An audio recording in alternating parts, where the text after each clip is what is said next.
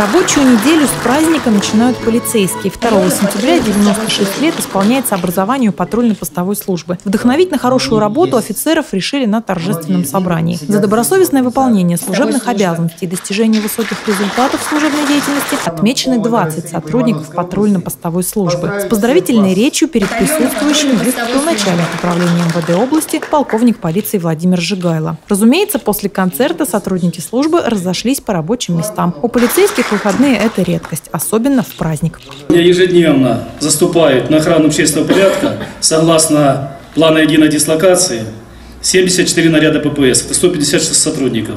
Из них 40 патрулей на территории областного центра.